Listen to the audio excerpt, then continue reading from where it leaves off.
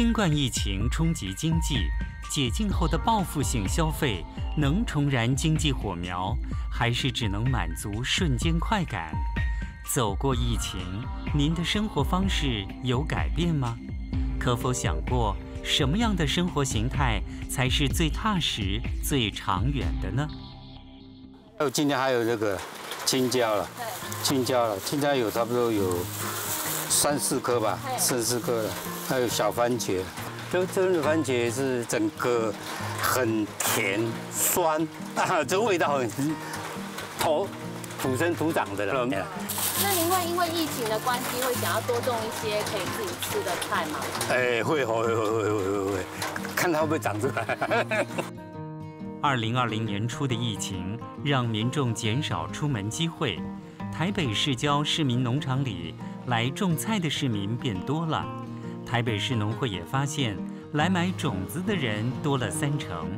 社区大学里学种菜的学员也增加了。肺炎疫情的持续的升高，那其实我们发现，其实来种菜的人其实并没有减少，反而有稍微增多一点的这种趋势。因为对这方面有兴趣，自己种的菜是真的体会那个菜的甜和香的味道。回归自然的一个基本概念那同时也因为自己种菜，可以自己看到自己。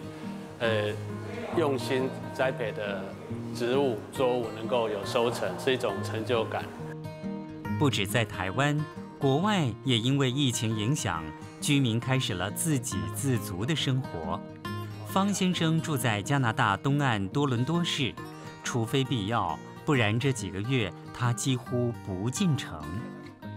我们台湾的节瓜哈，我们台湾在讲节瓜，其实这个是意大利瓜哈啊，鲁奇尼啊，然后像昨天。凌晨，呃，甚至降到四四度五度，哦，非常冷的时候，我们就要帮它盖这些，帮它盖一些这些防那个防那个霜害。因为疫情的关系，光是食这个项目就让人们改变生活形态，找出新的方式，逐渐回归简朴生活，在现有的资源里练习让物尽其用，成为日常习惯。那个梗呢，我们就是把皮削掉了以后，就会稍微腌一下，所以这样子呢，一个青菜可以吃出三样美味的口味。老一点的叶子呢，我会有的时候会腌一下，做那个炒一个菜，炒一个那个百叶啊，或者是呃切碎，把它切的碎一点，然后做出来就是吃口就不怎么老了。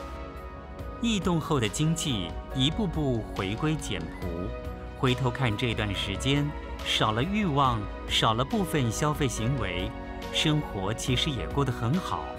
年初，环保署将2020年定调为永续地球年，以构就好生活为活动主轴。慈济也提出清净在源头，简约好生活。期盼人类收敛无止境的欲望，力行克己、克勤、克俭、克难，回归简约减法的生活方式。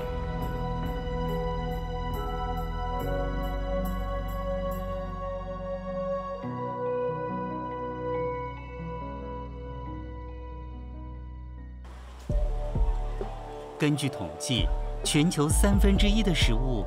在还没有下肚之前就被浪费掉，而台湾平均每人一年的厨余量大约一百五十八公斤。台湾二十到四十五岁民众衣柜中平均有七十五件衣服，其中有十五件衣服几乎没穿过。至于鞋子，全台湾每年丢弃五百四十万双鞋，换算下来，每分钟就被丢掉十双。食衣住行，在我们的忽略中浪费了多少资源？是需要还是想要？在我们打算购物时，是否会先自我审视一番？无奈的是，多数人仍做不到知足少欲，因此常不经意的就消费过度，同时也过度消耗了地球资源。看一看。我们假如不人人克己啦，想多少事情啊，人祸啊，天灾啊，都是因为不克己自己，所以呢，心啊贪婪无度啊，哦，那所生活的都是很奢侈啊，而且呢，而浪费啊。现在的人不只是呢。不能克服自己的身心享受，同时呢，也已经呢，不能克服自己的心魔，都会动不动啊，就胡思乱想，想的太多。现在的人呐，克服。不了自己的心啊！看这种心灵病态了哦，总是呢贪婪的心态啊，不断的生气哦，所以实在是呢很令人担忧哦。所以我们只这个要克勤克俭呢，也是要从克己自。自己从自己呀，要克服我们的身体，要勤，要勤快，要去做。上人对众人的呼吁，自己也身体力行。一九六四年，四位清溪女跟随上人修行，借住于普明寺开始，就以勤苦耕作、劳动手工来维持生活，树立了克勤克俭。自力更生的静思家风。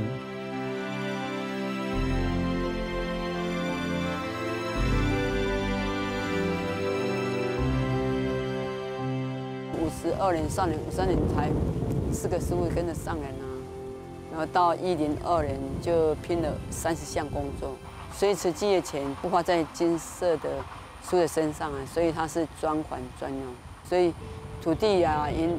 房子都是金色树跟上人这样打拼起来。以前上人比较有空，都跟我们一起工作。他每天几乎都跟我们做一个早上。一九八五年，净思金社的常住师傅开始生产豆圆粉，成为金社自力更生的主要收入。后来为了赈灾所需，投入更多的产品研发。但常住师傅们还是克己、克勤、克俭、克难。信受奉行着静思精舍五十多年来的传统精神。啊，所以有很多人问我说：“啊，你初初遐尼艰苦啊，食啊，无无无，无讲食介好啊，无通啊食啊，搁大啦、轻啦，拢是遐尼困难哦。啊，搁外口做迄初档的工课，家己犁园啊吼，啊又负债啊吼，啊你敢袂想讲我不要了，我要回家了？我说不会的。那时候：“我就觉得可以出家哦，也是福报了哈。啊能够认识上人，能够亲近上人，也是也是好姻缘了，也是福报。身体是很辛苦，没有错，但是内心是很高兴。净思净色的所有的产品是因应我们是一个自力更生的道场，所以金丝金色的工厂并不是一般的商业工厂，它是道场中的工厂。”精舍是自力更生，大家人应该相信。咱精舍是全球组织人的家庭，等来拢精舍负责，这是大家庭，家人归来了，拢无用到基金会，精舍这个大家庭爱维持，所以呢。咱精舍的师傅，对师傅两百外人，两三百人，一念心，一个计划，就是安尼投入做做来经营这个家庭，团发的在精神力量，那宗门就是祖先医疗教育。人文传承静思法脉，弘扬慈济宗门，都需要延续克己、克勤、克俭、克难这样的四克精神。净师法脉就是克己、克勤、克俭、克难，大家都要知道。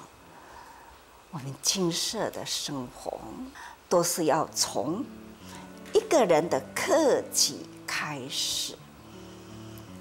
当然，有了一群有志一同啊，来修行者，他们必定呢要遵守，要克勤。我们要自力更生嘛，要不怕辛苦啊。要克勤，那么这这么的辛苦啊，所以呢要克俭，很俭用，省吃俭用啊，这都是呢在金色的开头，这都是我们呢一定要传承下去的，所以啊。在那样的情况之下，还要做救济工作，所以啊，也一定要克难嘛。这样的精神呢，不能放松，我们更要加紧啊。这对整个生态呢，都非常有关哦。慈济的四克精神不仅在静思精舍发源。更流传在慈济志工身上。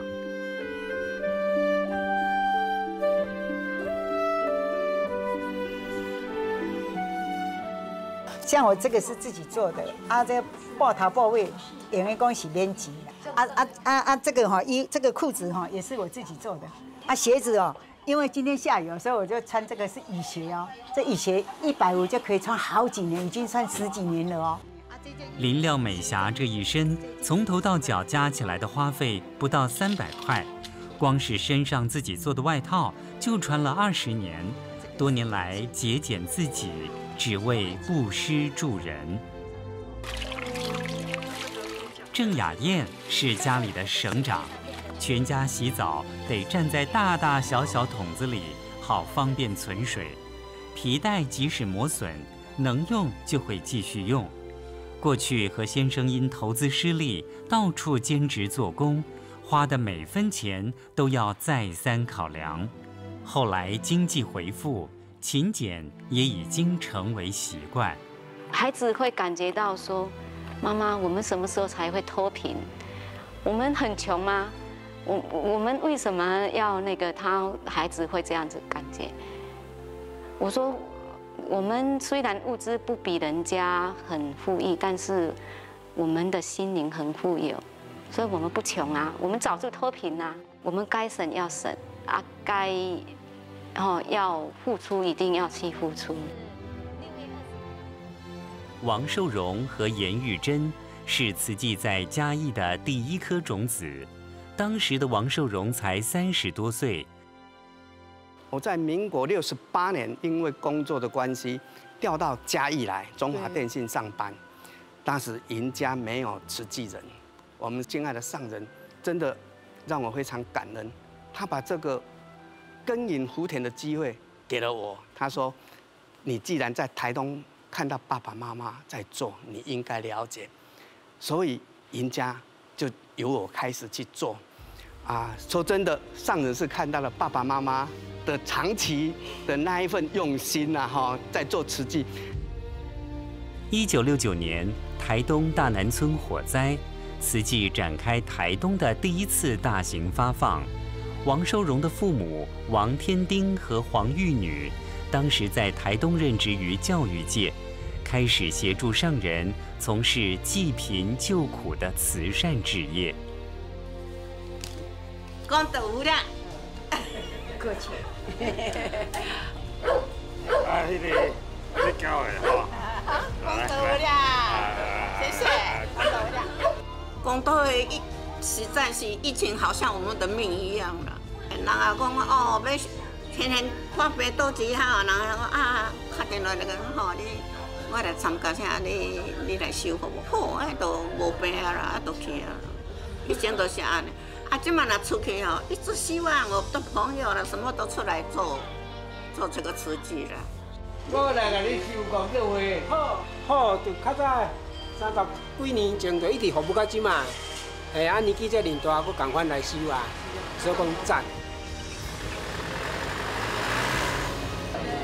哦，你阮文山国校的校长，阮的校长，哦，那校长呢？